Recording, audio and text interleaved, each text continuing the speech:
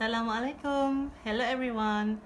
So today, uh, I would like to teach you about number bases, which is uh, we will learn how to convert base 3 to base 10. So basically, we have a number 1, 1, 2, 0, 1 in base 3 So as we know, to convert base 3 to base 10, we have to multiply with the number 3, which is starting with 3 power of 0.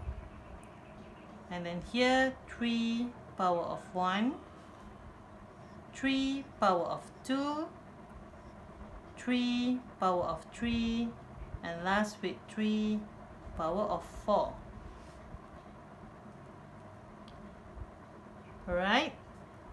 So we write each of the numbers in expanded notation which is starting with number 1 times 3 power of 4 plus with 1 times 3 power of 3 plus 2 times 3 square or 3 power of 2 plus with 0 times 3 power of 1 and last with plus 1 times 3 power of 0.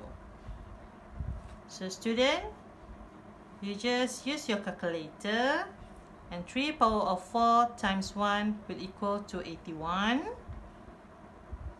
plus 3 power of 3 times 1 equal to 27 plus 3 power of 2 times 2 equal to 18 and here you have 0 so 3 power of 1 you times with 0 then you will get 0 and last one is 3 power of 0. So remember, all numbers which is power of 0 will equal to 1. So 3 power of 0 equal to 1. You times with 1, then the answer is 1. And then you just calculate using your calculator. 81 plus 27 plus 18 plus 0 and plus 1.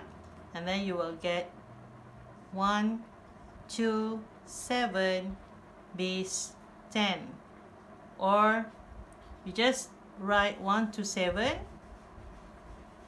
only.